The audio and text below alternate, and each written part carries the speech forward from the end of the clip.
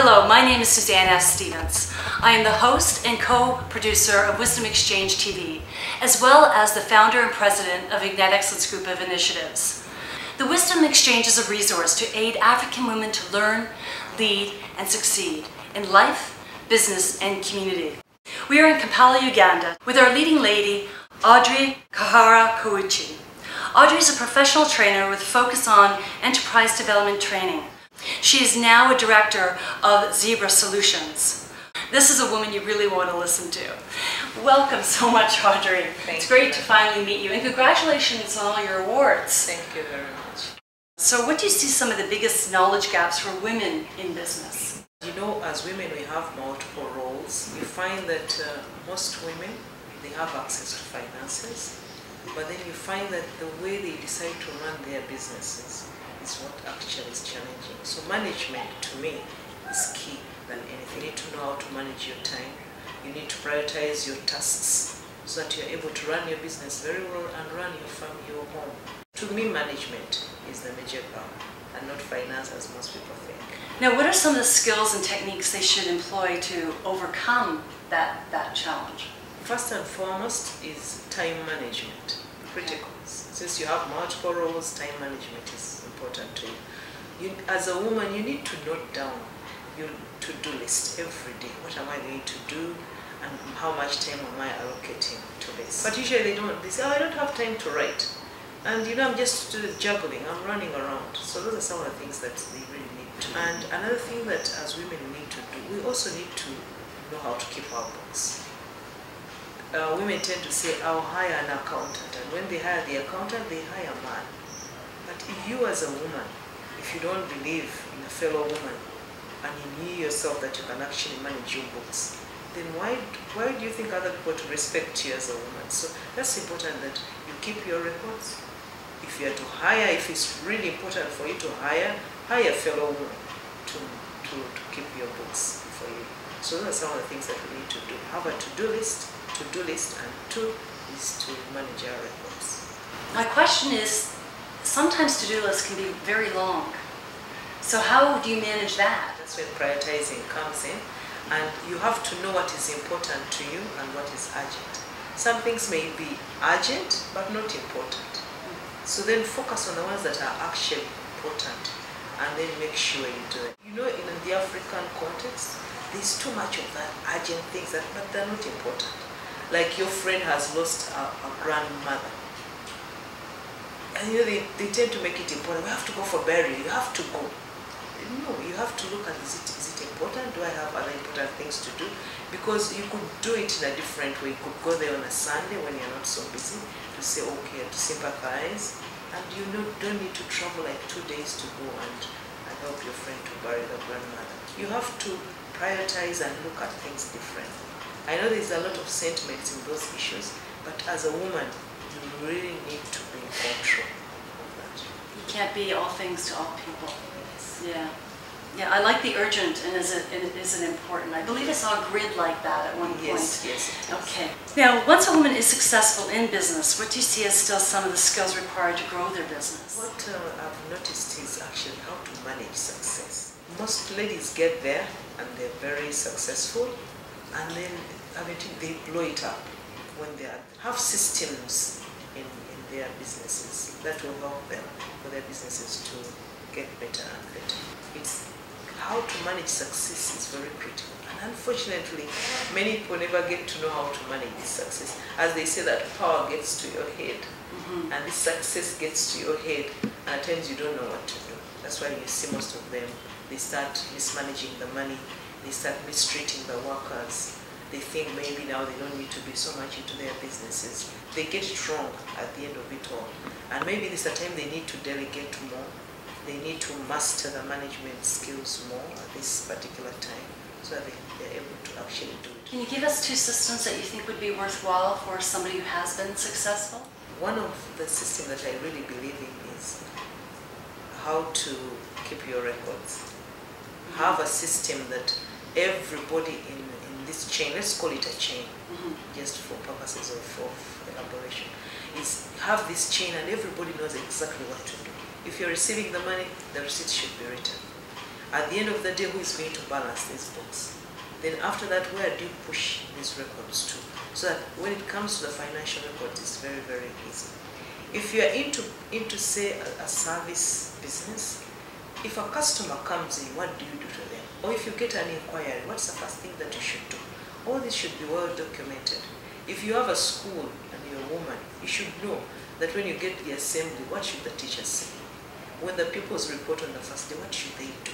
All this should be documented and well streamlined. So the production side should be well documented and also the financial side should be well documented. If you have those two systems right, it's very, very easy for you to manage success. The, the processes and, and getting those systems and learning about how to put a system in place. Yes. Where would they learn how to do And there are very many consultants around who can do it, but we also do it in Zebra Solutions. Right. But you find there are also other business development providers who can actually help you have your systems in place. But you could still have a mentor. Mhm. You could have a, a mentor to help you do that. People who have done it successfully could learn from them. And some women have done it successfully, so you could learn from them. More and more women are becoming entrepreneurs, and you focused at the university, small to medium. What would it take for some of those entrepreneurs to be big business? What's stopping women from becoming big business players? You know, as women, we are very unfortunate.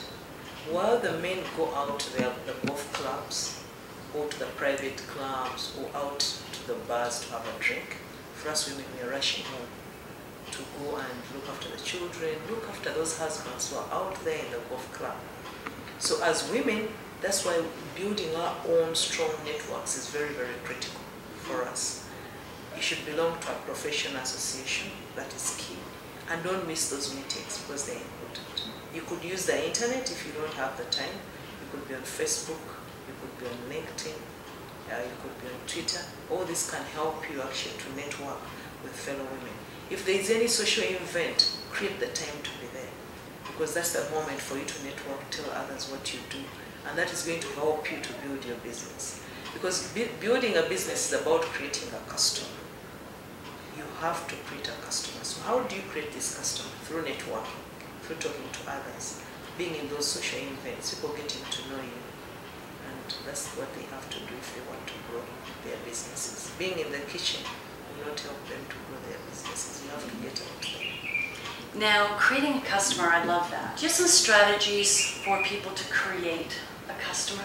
Uh, the best way to create a customer, first and foremost, is telling them about what you sell and bring out the good aspects of what you're selling. If you're selling water, don't tell them I'm selling water, but what is it that is different from the water that is on the market that you're actually selling? So bring out the uniqueness in your product or service that you're selling that will make somebody get attracted to you instead of your competitor.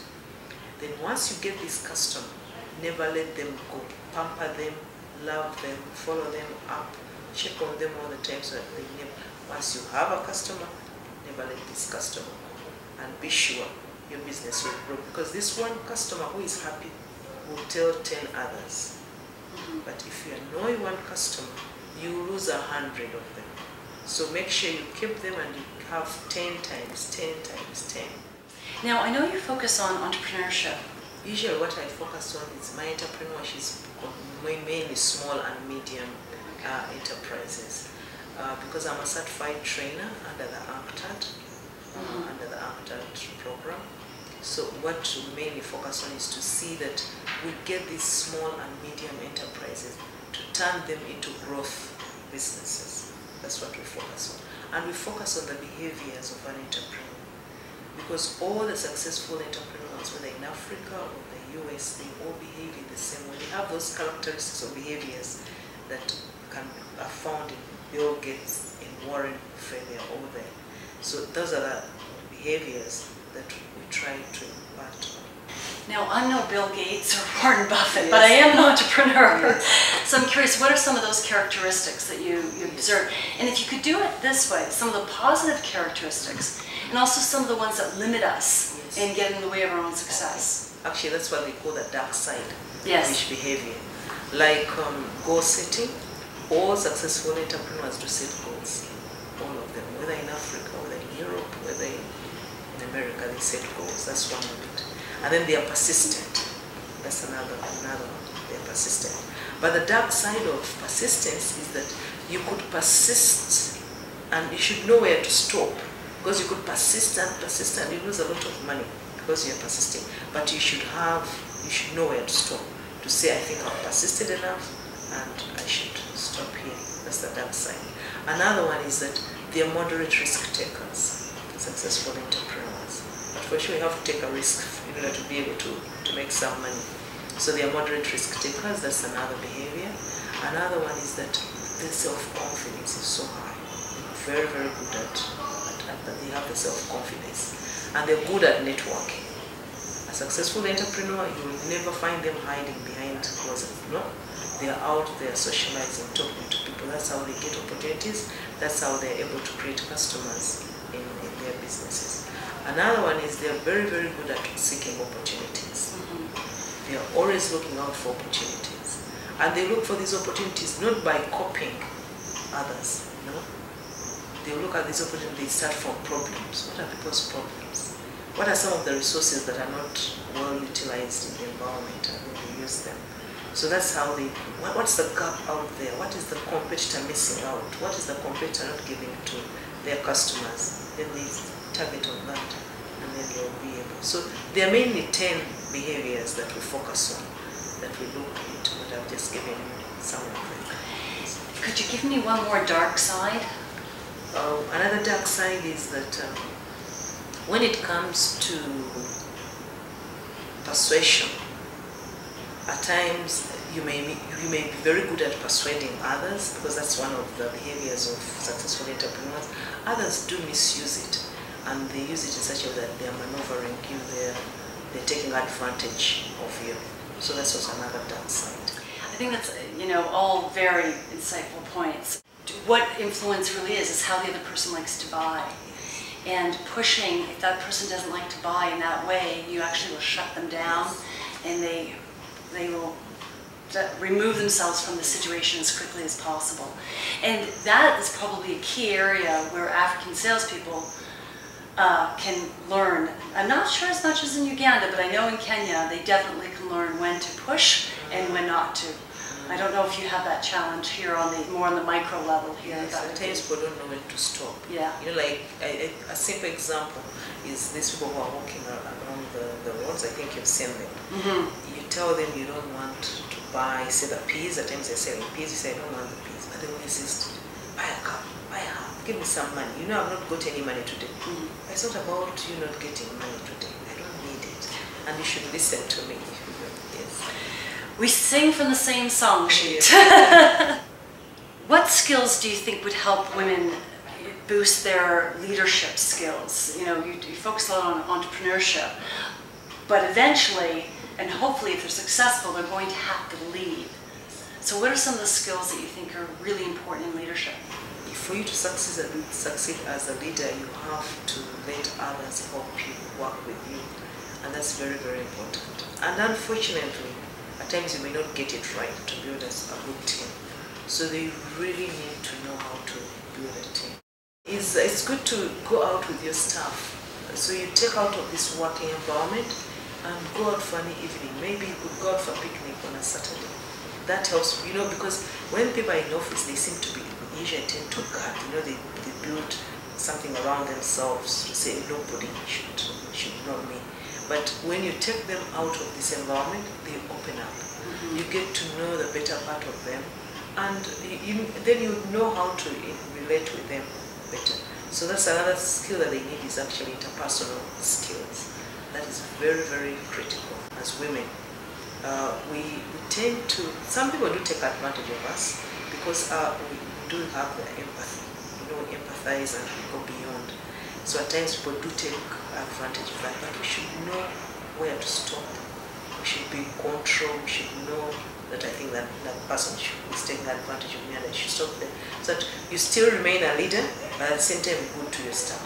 Have you found or do you suspect that women may not want to, as leaders, demand more personal time of other people because they need to get back to their own families? So they assume that their team also has other responsibilities and may not want to spend some of their personal time with their organizations. Yes, that is very, very true. That's very true. Because if, if she's leaving, she wants everybody to leave so she's not guilty. Provided you have a good explanation for leaving early, then that, that is okay with you. You can leave early. But you could also allow your team to use their time effectively. Make sure that when they are there, they're working effectively. Delegate so that you don't you don't uh, have to leave because if you leave early and you still have work, that's where the guilt comes in. But if you leave when you've done all that you had to do, then you, you leave the office satisfied. So you have to pass on this skill to your staff so they learn to work effectively required time, their eight hours or six hours. A successful entrepreneur often is a very good networker, and I, I couldn't agree with you more. But a lot of people are terrified or just uncomfortable with networking. Do you have any advice on how to network? There's, there's a book I read uh, that uh, told me something to do about networking. The way you can teach yourself on how to network. They say go into a shopping mall and on say an afternoon, go there at 2 because that's usually those are the busy times in the mall and meet at least five people you don't know, smile at them, greet them and tell them something about what you do. And you know that will help you to say, oh, it's easy. But if you've not done that, it's usually hard. That's why you find people at a social function, they're in a corner because they're terrified to go out and talk to people. But the best way to start, go to a mall, one Saturday afternoon, talk to five people, smile at them, greet them properly, and tell them what you do. So if you could do that uh, for say five Saturdays, I'm sure now you'll be confident mm -hmm. to do it elsewhere comfortably. Now your expertise is in sustainable agriculture practices, pest control, post-harvest handling, amongst many yes. other things. Can you give us sort of two uh, practices uh, that companies should be implementing when it comes to sustainability in agriculture? and then two in pest control, and two in post-harvest handling? Our post-harvest handling starts actually from the time uh, when your crops are still in the field. It's very, very important to get those crops at the right. I'll just give an example of maize. I think it will be better if you but like maize, get it at the right moisture content. Mm. Make sure it's handled in a good way. Don't just throw it on the ground and it gets dirty. All that brings about losses. So the handling has to start right from the time when you're harvesting from the garden, that it's done in a clean way. When you're drying it, you dry it on a, a, on a clean surface, and make sure when you're keeping it, you store it in the right moisture content. Raised, not on the floor, but should be raised, so that it has moisture cannot form within, within the cereal. So those are very, very key steps, mm-hmm. right from the garden up to the time when you put it into your warehouse to store it. And then about pest control, here in Africa, rotation works better. That if you plant beans in this plot this year, don't plant beans next year. Plant something else. Mm-hmm. And don't plant something that is in the family of beans. Maybe next year what you could do, you could plant in potatoes. So that that helps the pests that feed on beans will, at least the population will go down. Because next, next season, they will not have anything to feed on. So most of them will die. Then you can plant beans again So that's the best way to, to manage the, the pest. Another one is to plant, like cotton can be planted with maize. That's was another way, that's the biological pest control. Those are also good ways to know if you can intercrop two crops and one fits onto the other pest, that can also help. The sustainable one is mainly if um, if you have if you're into crop, crop growing, crop growing, and then you also rear animals. Mm -hmm. So you get the, the, the down from the animals, use it as manure into your That also helps. So the fertility of the soil will continue to, to be there because of the dung that you put in as manure into, into your garden. That's also very, very important. That's why we usually encourage people to have animals and also to grow crops. So that what comes out of the animals goes back into the garden, what gets out of the garden goes to the animals. What has been the most significant impact you feel you've made in your career? At least where I've, wherever I've been, I've left a mark because I worked with the Ministry of Agriculture and I left a mark there because I was still recognized there because of my performance. And then I came to the university and I've left a mark here at the university and I've left a mark by getting two awards. But also what I've created in all these parts I still see. Because when we helped the ladies, uh, the women in Jinja, in the Women's Heifer Project, you know, we would donate a, a heifer to a family. And then that, so using that heifer would bring in family planning, would bring on this family life education to make sure that the home is clean, sustainable agriculture, that they get the manure, and use it into their crops, increase on their crop productivity.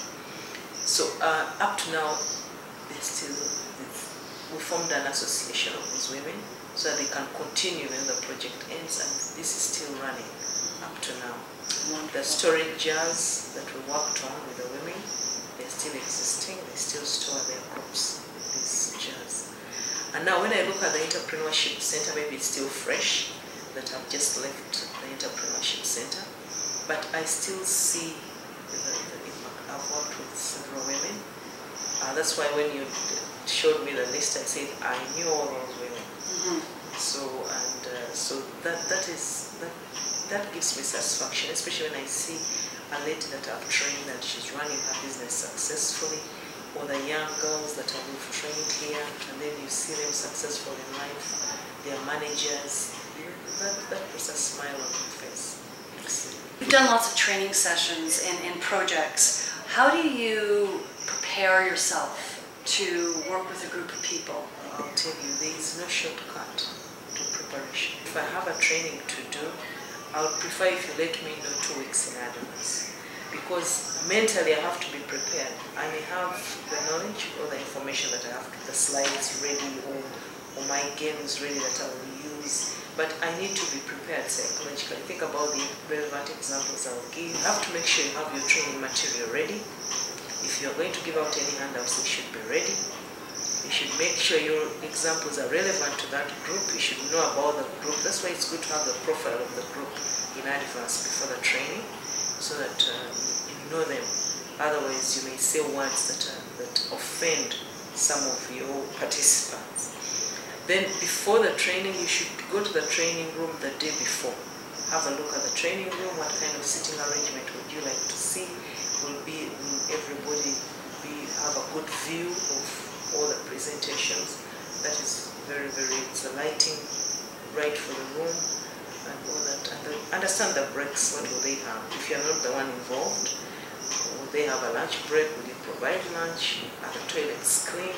That, that, those are things that they are simple, but they are very critical. So, how do you measure the success of a program that you implement? I know most people like the paperwork, but it's the way I feel.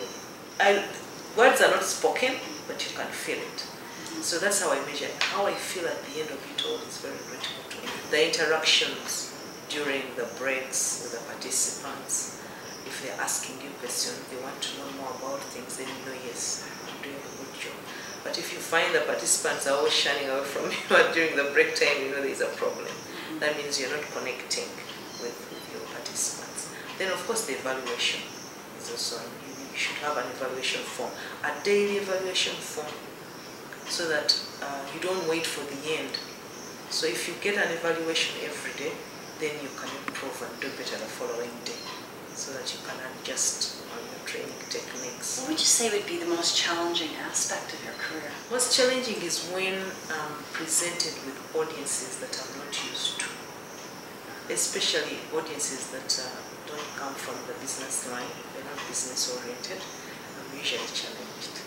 I'm, I'm more comfortable with business people. But if I'm told to go and train public servants, I'm told to go and train lawyers, uh, that challenges me. But at times it's good to have those challenges because that puts you on your toes. Then two is when I get new projects. you know, you, you write a proposal and then all of a sudden you're successful. But the way I've learned to deal with projects is I rely so much on the team. Mm. When I get a new project challenging, I really rely so much on the team and I let them know. I say, I'm really relying on you. I know I will lead in this, but I'm really relying. You try to visualize the outcome and you know you have two visions, failure and success. And you know you don't have an option to pick success. Mhm. So when we were chatting earlier, that was sort of a bit of your edginess insight as well, the thing that you had to do to that's uncomfortable but you continue having to do in order to be successful. I'll never forget the first time I was speaking to a group of men. Very this was early on in my career and they were all executives and I thought, why would they listen to me? And then all of a sudden, you go in and you give it all you have, and you realize they're not an expert in it. You have more knowledge than they do. You can teach anything. One time I was going to teach some people, of course, they had the um, more experience, they had more money than I do have, you know, they drive better cars than I do have. And uh, I was getting to there and I said, oh my God, what am I going to tell them? I might get in there and say, oh, what is she going to tell us? And then uh, uh, this colleague of mine says, don't worry, you don't know what you're going to tell them. Although they have better cars and they have all this, but they don't know what you know. To your point is they don't know what you know, and they don't know what they don't know. Yes. Has there ever been an initiative that you implemented that you felt didn't work or achieve the objective that you intended? And could you describe that to us and what you did? I was given a consultancy to do, and uh, this consultancy was to do with the training skills. I was supposed to go to different organizations, find out uh, which areas they were training in, and then come up with this report, which I did. I gave it to a few of my friends. They read through. They said yes. I said, do you think I've captured? I usually do that. Do you think I've done? I've captured the objective. They said yes, you've done it. So they, so it was an EU project. So the person uh, who was in charge, I gave it to him. I said, this is the, my first draft. And uh, before he gave me the comments, he circulated it, I think, to his team. And one person strongly on this report. He says, no, it's not report. This is all the bad words came out about this report. And I'm telling you, I I got this information from an email. So I opened my email and there were these words. And I, you know, you, you- I, I got a stomach pain immediately. Mm. I started sweating. I didn't know what to do. I was mm, following, good enough I read it in the night. So I, I didn't sleep, I couldn't sleep. I woke up in the morning, I was so low, I couldn't tell anybody what had happened. I just said, I, I don't know, what should I tell people that I feel this? I said, okay, let me call the people that I gave to read through my report first. And I said, do you remember the report I gave to? "See." I said, were you genuine? They said, yes, yes, we are genuine, and we thought so. Then after some time, I got the guts to call the person who was supervising the project. I said, have you read that email? He said, I've read it. He says, don't worry about that gentleman. He's always like that. He's very, very negative. But it left a mark on me up to today, and I don't know why. Well, what I'm more amazed at is that you've only, it sounds like you don't often get negative feedback.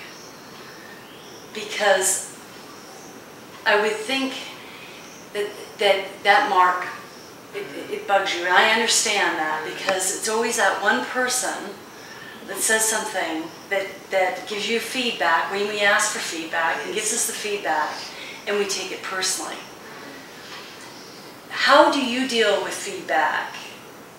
Now that night you didn't sleep, but what would you recommend for people to, t- you know, you- you're, you're promoting ask for feedback, ask for feedback, but sometimes you don't want the feedback because if you can't deal with the feedback, then you're gonna have a bigger problem.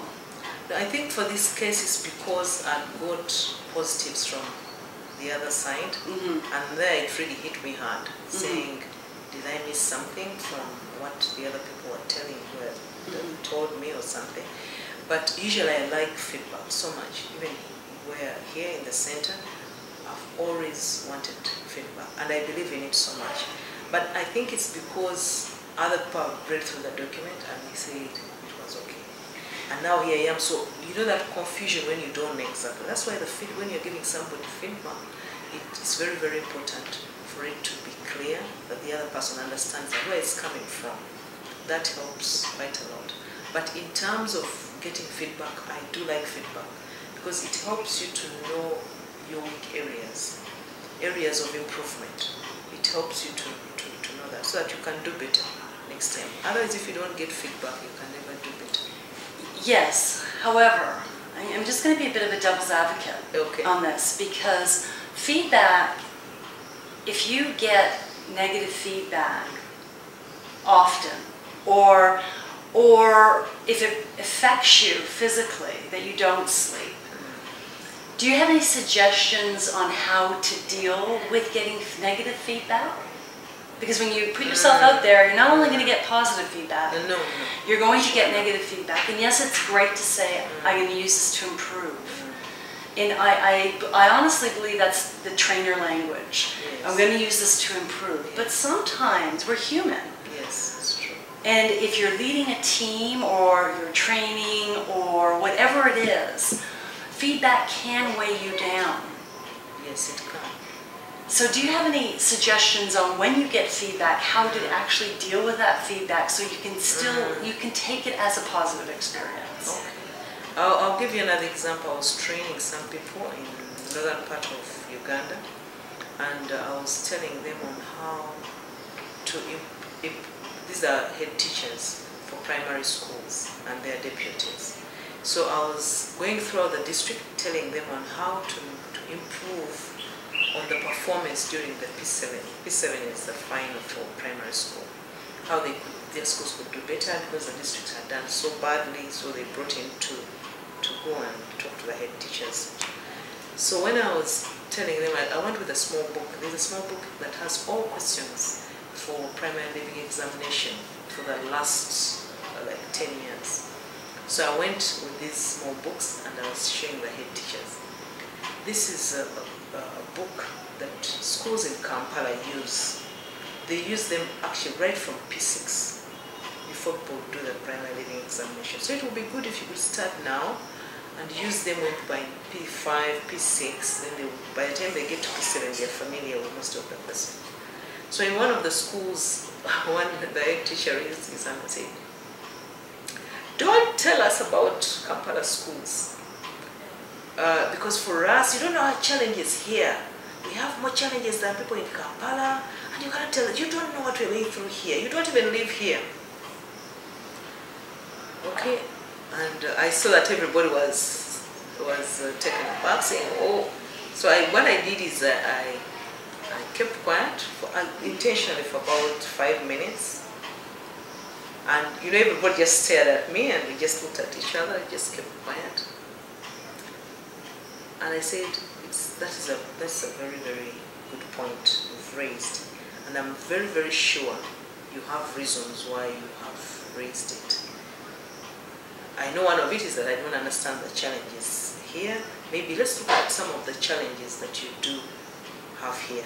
And so we switched and started discussing some of the challenges there. Then eventually I brought in the book that they had to use. That's another way to handle feedback, that you get to understand where the person is coming from with those comments. Mm-hmm. Yes, and then that, that can actually help you to, to see how to move forward. So And that's, yeah, I like what you, and I like what you're saying is understand where the person's come from, and I'll just add a little caveat to it: asking more questions, especially when you're confronted in a face-to-face situation. Ask more questions because if you put the energy on them, Yes. it's not on you.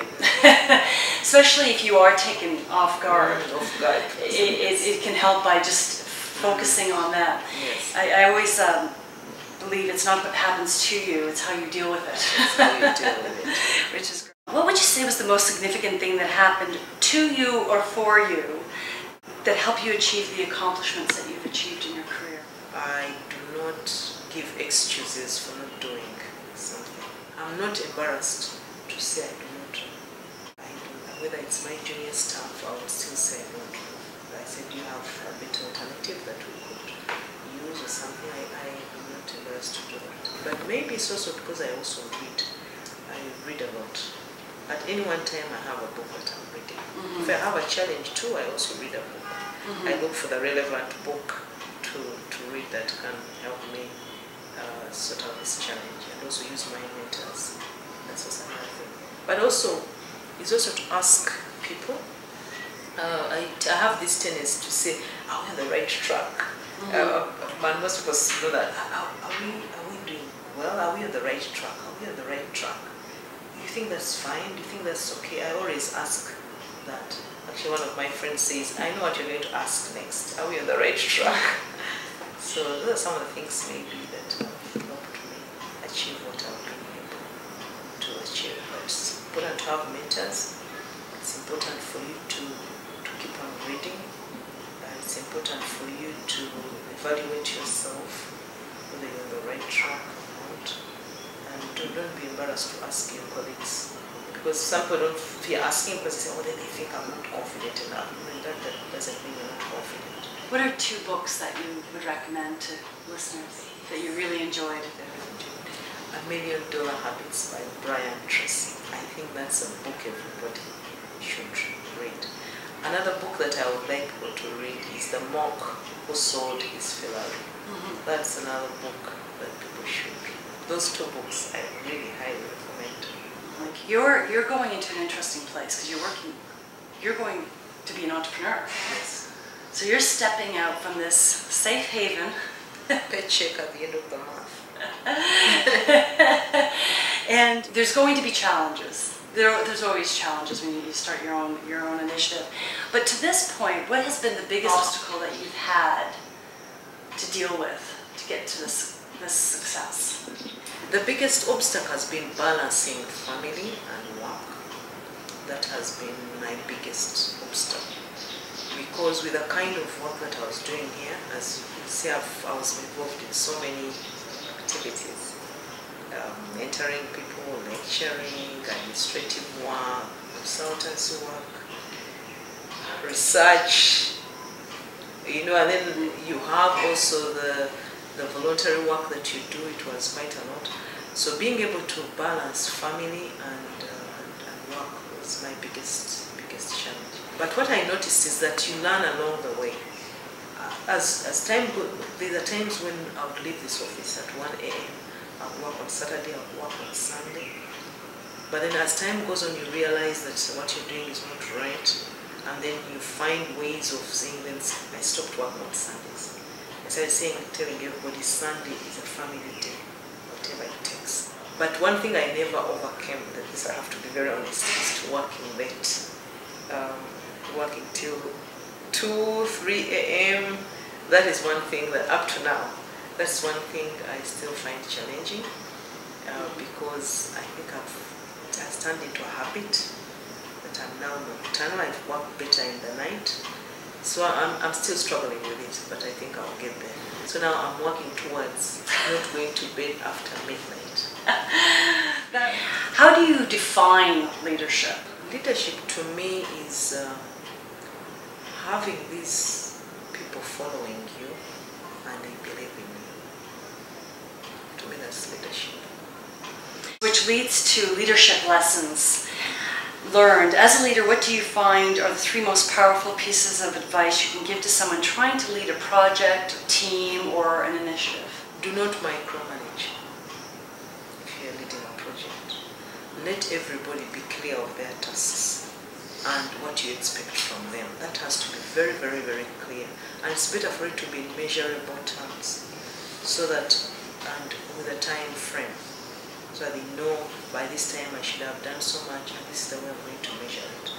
So at the end of it all, you don't need to ask them on a daily basis, what have you done today, what have you done the other day? Because they know that you have a time for evaluation, say, huh, where are the results? So it's better to avoid micromanaging because if you micromanage, it takes a toll on you as a leader. So give them this uh, confidence that actually believe in them, trust them that you can do it. And you'll be surprised they will do it. Then another one is that you need to have more than four hands to hold you up. And sustain you there. That's why you need to build a strong team. Remember earlier I talk, talked about meeting your staff outside the working environment. That's the way to build a team. You could go out for a picnic, you could have dinner out together. Those are some of the simple things that you could do that help to bond, they help to bond uh, this team. Then thirdly is to be receptive to feedback. Like in the center, what we do is we have something that we do, we say start, stop, and maintain. So every person writes about the other, what they would like them to start doing, what they would like them to stop doing, and what they would like them to maintain doing. So that is feedback. And good enough, you never get to know who exactly said that. But the fact that you get to read it and say, oh, is what people think about me. As they say, weaknesses, some of them you may not be able to change your weaknesses, but at least you may know how to manage them. And then you could let your team know that actually I have this weakness and I appreciate you've mentioned it out in our start, stop, maintain, but please help me to manage it. So it, it becomes a, a, an enjoyable environment to actually work.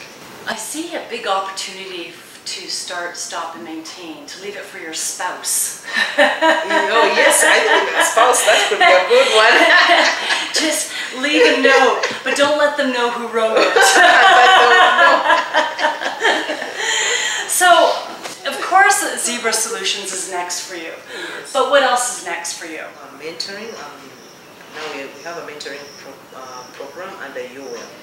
So I'm deeply involved into mentoring the women in this association. Excellent. So after creating Zebra Solutions is also going to allow me to have more time to do some of those things that I now would say I wish I would mentor more women. Uh, so now I'm going to have more time to be able to do that because I don't have to report somewhere 8 to 5 and you have somebody telling you to do this and then the other is pending.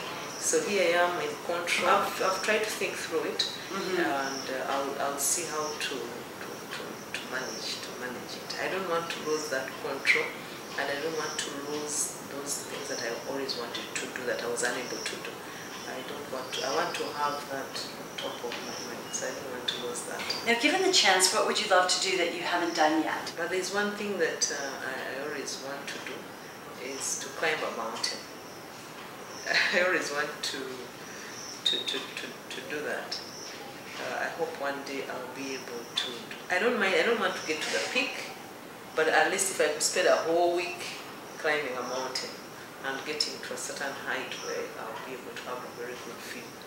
That's one thing I would really like to to, to achieve. So, if you had a daughter 10 years old today, what words of wisdom would you give her? People should, shouldn't describe who you are. You should be the one to, that. So I tell her that you can do anything, whatever you want to do, you can. People shouldn't tell you you're you can't do this. You can do whatever you want to do. Forget about your sex. Doesn't. You can do anything. Because I say, look at the women. We've had women who are pilots, we've had women who have done all sorts of things. That means you can you can still do it provided that's what you want to to actually do. That's that's to me that's I believe is the most important thing instead of people reminding you the time you're a woman you can't do this. You're a woman and you're driving that. No, no, you shouldn't be driving a big car. You should, a woman uh, driving a bus, people think it's a big thing. No. You see that shouldn't your sex shouldn't be tagged to what you can do and what you can't do. I love that you've said that, but I also love how you said it. Is don't let other people define you, and and even beyond gender, Yes. because people tell us describe who we are. You are this Yes. all the time, All the time. and you don't know me well enough to know to label me. Don't Mhm. label me. So I, I really, really like that. What do you wish someone told you when you were 10 years old? I wish at 10 years old, um, somebody had just told me maybe the same thing, that others shouldn't And I just wish at 10 years old, somebody wasn't always telling me that uh, go and cook.